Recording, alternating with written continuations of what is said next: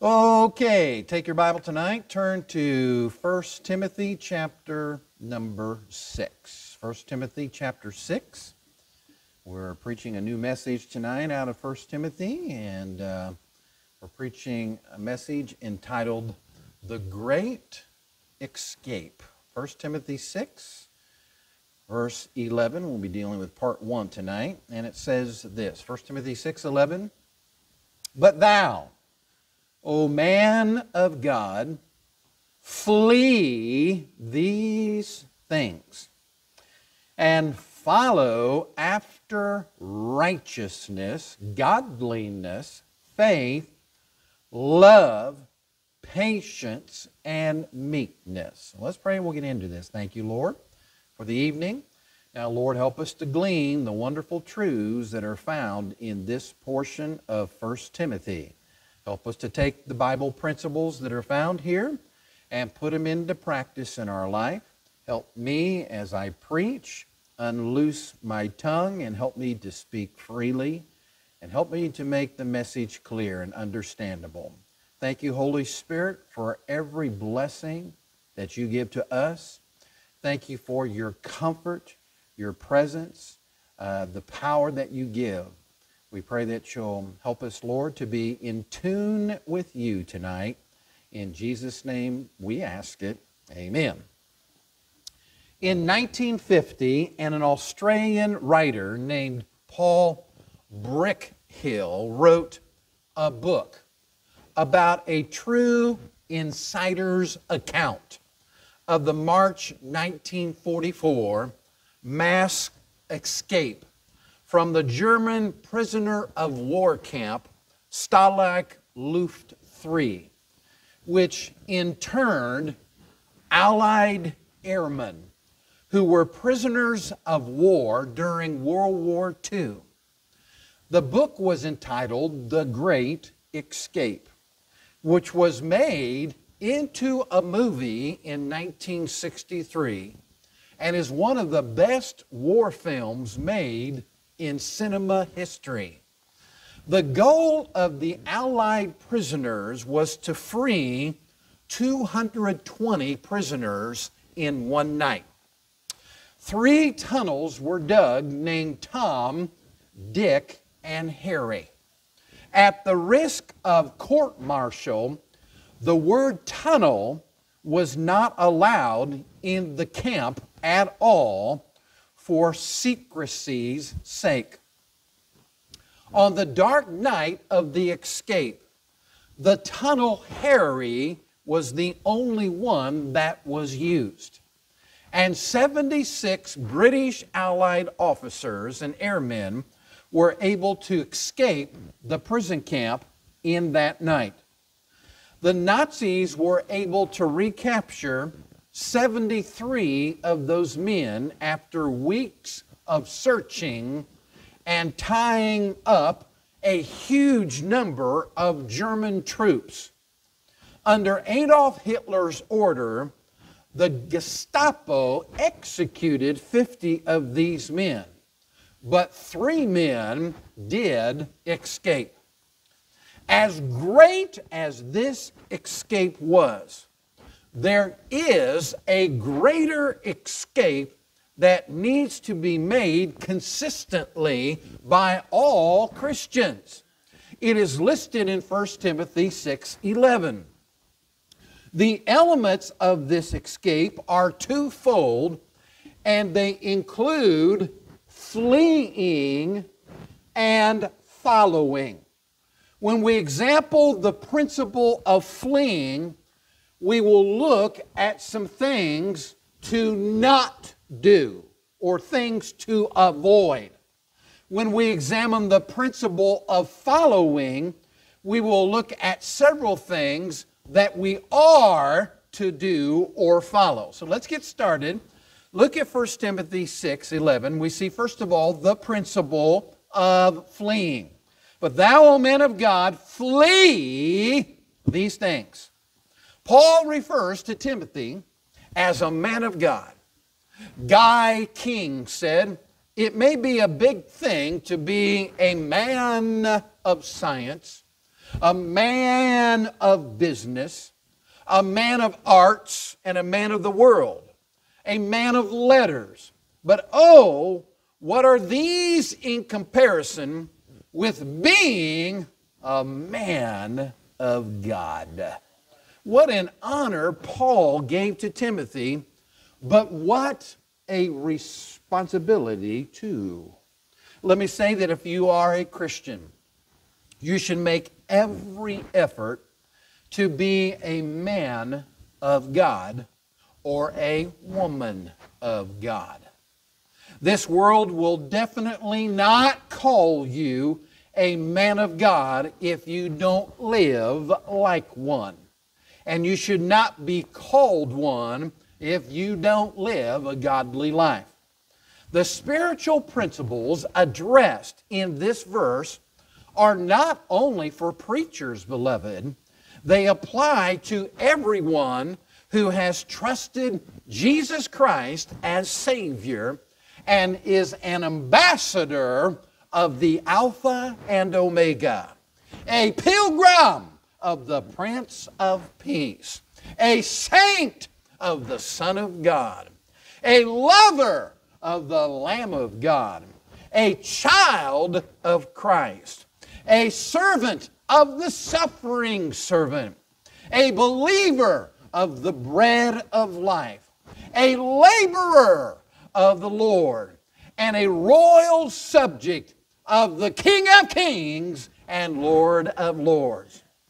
You know, beloved, the jellyfish is an incredible creature that was made by God. Did you know that it produces light inside its bell shaped body and in its tentacles? I didn't know that until I studied this. When a predator comes close to the jellyfish, it turns its lights off and escapes by scooting away as fast as it can. Yeah, boy. If the predator continues the chase, the jellyfish switches to plan B. It's got a plan B. It tur- get this, it turns on the blue light in its body and the white light in its tentacles. This guy's got color. He's got different light bulbs inside of him. Amen. When the attacker is very close, the jellyfish turns off the blue light inside its body and it takes off as fast as it can and it detaches its still glowing tentacles. He can detach those critters. The, con- the tentacles continue to writhe and wiggle around in the water, distracting the predator. You know, fighter jets do the same thing by launching bright decoy flares in battle when missiles are fired at them. The actions of the jellyfish provide a picture of the meaning of the word flee in verse number 11. It's derived from the word pheugo, which means to flee away, to seek safety by flight to shun or avoid by flight something that is abhorrent or to escape. Uh, in fact, it is the word that produced our English word fugitive. In the ancient Greek literature, the word was used to depict a lawbreaker who fled in terror from a nation where he broke the law. The reason that he fled so quickly is he wanted to escape capture and prosecution. A pheugo, this word for flee, it's in the what they call the present tense, which indicates that Christians, especially men of God, they are to constantly run, avoid, shun, or escape behavior. and beliefs that are bad, brutal, blasphemous, barbaric, bogus, and beguiling. We're to run from that kind of behavior. Now, what are the things we are to flee? Well, these would include things that are mentioned in the previous verses of this chapter, which include temptations, snares, foolish and hurtful lusts, the love of money, erring from the faith, and piercing yourselves with many sorrows. Beloved, the hounds of hell are on the heels of the believer. We are to flee from the Scottish terrier of snares, the sheepdog of sorrow, the St. Bernard of straying from God, and the Siberian husky of seduction. Run from them dogs, okay?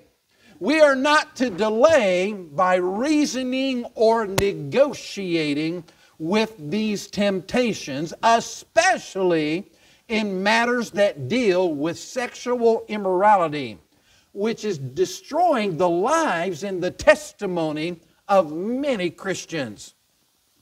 Now, this was a problem in the carnal church at Corinth. Notice what Paul said to these believers in 1 Corinthians 6:18. He said, "Flee fornication. Every sin that a man doeth is without the body, but he that committeth fornication sinneth against his own body because of the destructiveness of sexual immorality. Paul issued a simple, forceful, powerful command on how to deal with this particular sin. He said, Run! Don't pollute your palace. Beloved, don't pollute your life with per- perversity. The Bible says you are the temple of the Holy Spirit if you're saved. Fornication is the sin that affects your entire body and being. It has devastating spiritual consequences as well as emotional, physical, and even mental consequences. When it comes to sexual sin, don't reason with it. Don't rationalize it, just run. When Potiphar's wife trapped Joseph in a sexual situation, beckoning him to have sex with her, Joseph escaped by running as fast as he could from her. Don't forget that fleeing carries the idea of running continually and to continue fleeing from sin until the danger is past. It also means to avoid by running. It is just as important uh, to avoid the traps of sexual sin as it is from uh, if you uh, uh, as it is to run from it if you find yourself in a situation of temptation that may rise. Avoid actions that lead to immorality. Now, this would include wandering looks. Wandering eyes belong to those who are looking for men or women. They hunt for new sex partners Peter described people like this. 2 Peter 2:14 having eyes full of adultery and that cannot cease from sin beguiling unstable souls. A heart they have exercised with covetous practices cursed children. Wandering eyes can get can get you into trouble.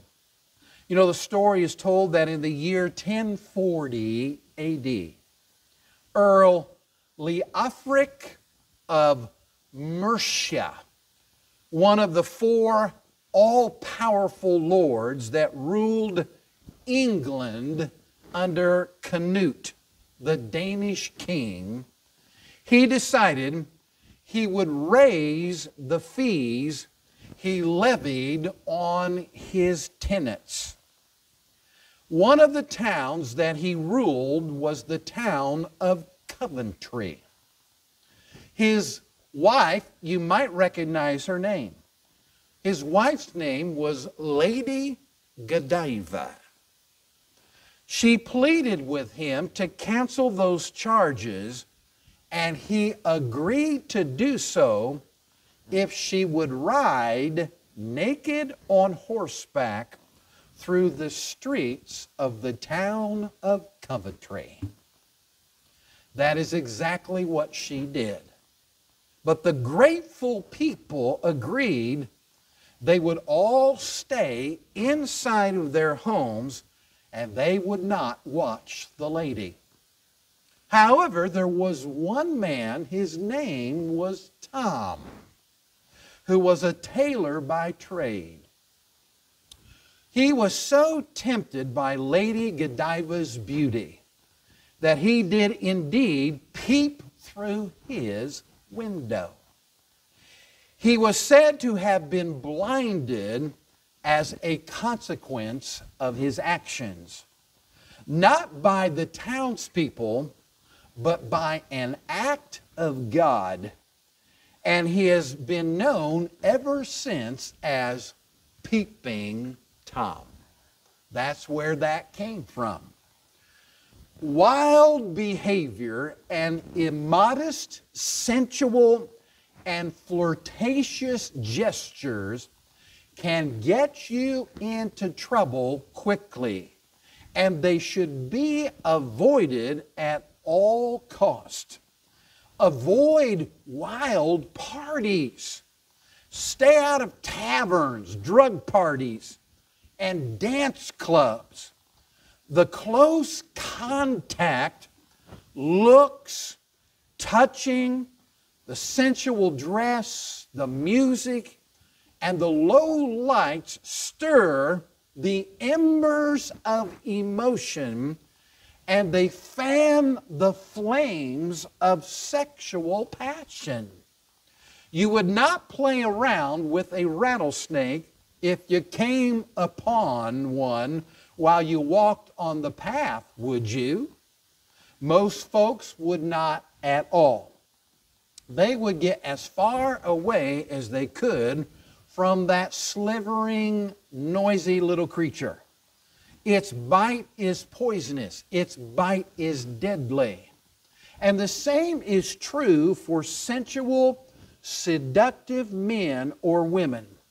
Stay away from girls or guys who are like this, and there are a lot of them out there.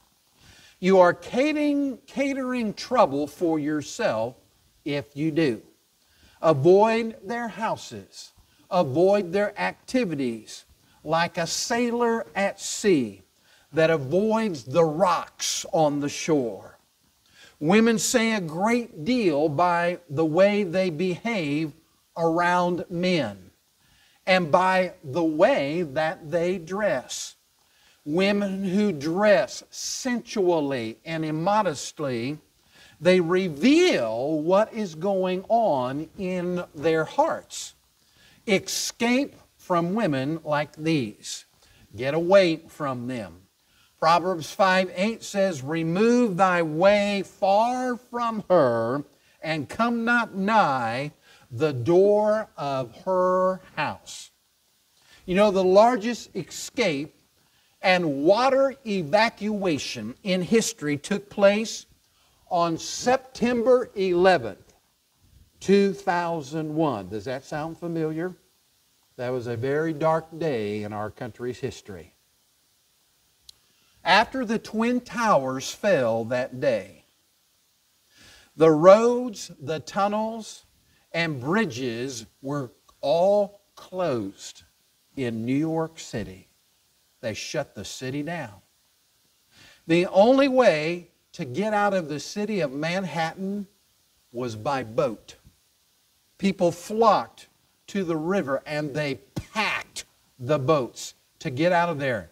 They didn't know if another attack was coming. All they knew is those two towers had come down. There was smoke and debris everywhere. Some were so afraid, they were so filled with terror, they jumped into the river and they began to swim toward the shores of New Jersey.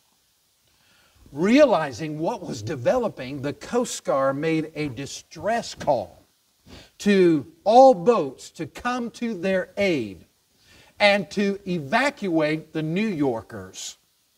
Within minutes, hundreds of kinds of boats showed up to take the massive crowd of terrified people out of Manhattan.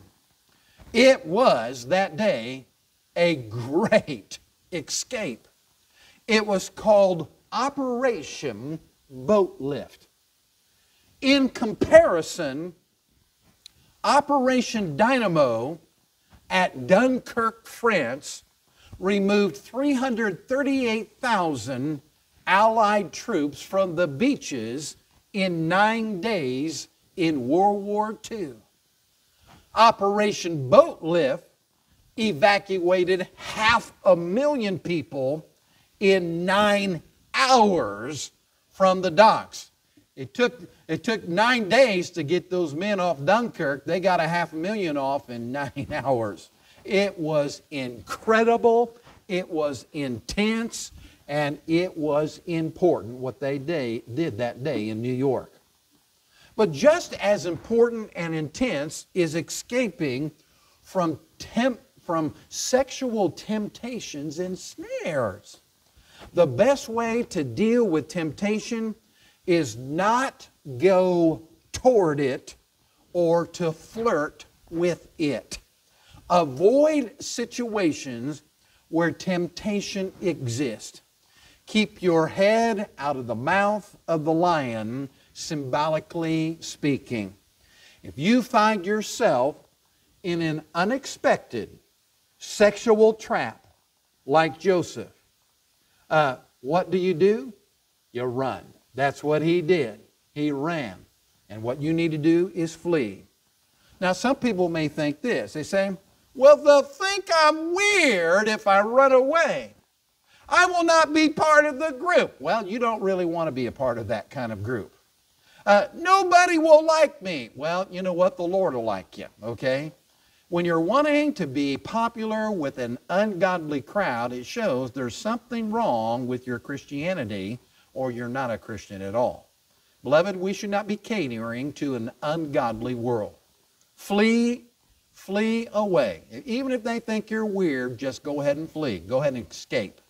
Proverbs 4:14, Solomon said this, "Enter not into the path of the wicked, and go not in the way of evil men, avoid it. Pass not by it. Turn from it and pass away." Boy, he's made that pretty clear. 2 Timothy 2:22 says, "Flee also youthful lust." If we are to be successful in escaping or avoiding temptations, traps, and the trauma from sin, we not only need to flee those things that will defeat us, but also we need to follow some things that Paul has laid out for us. So let's look at some things that we are to follow. We see now the second part, the principle of following. He says, and follow after righteousness, godliness, faith, love, patience, and meekness. Let me ask you a question tonight. Do you remember the Cabbage Patch Kids? How many of y'all remember that? All right. During the 80s, it seemed that everyone had one of those pudgy, pillowy, round faced dimple dolls. I mean, people went crazy in the 80s over these stupid dolls. One lady said her trusty old grandpa had gone to the store, toy store at 5 o'clock in the morning. Now, that time of year, it's dark at 5 o'clock in the morning. He went at 5 o'clock in the morning to wait in line for a dowel for her. Other folks said they got theirs on the black market. Each dowel had its own name tattooed on its bottom. The height of Cabbage Patch Kids' insanity was during the holiday season of 1983. I mean, folks, stores were mobbed. If you want to see what it was like, go on YouTube and they'll show you videos of what took place. When the doors were opened on these stores, it was like a stampede of cattle that stormed through the gate of a stockyard to escape to a pasture. People ran through the store. I mean, they didn't walk, folks, they ran. They sprinted through the, sto- the store, trampling and fighting each other to get their hands on these coveted dolls. Now, beloved, it was an illustration of the epitome of greed as people were struck with the I've got to have it syndrome. They mowed down anybody that was in their way. Some folks went into hand to hand combat to get their hands on one of those yellow boxes with shiny cellophane wrapping. This is the idea of the picture behind the word follow, which is from the word dioko. Now, what does it actually mean? The word follow used here means to pursue or chase in order to catch, to press onward or forward, to seek eagerly and earnestly, with sincerity and great effort and enthusiasm to reach the goal.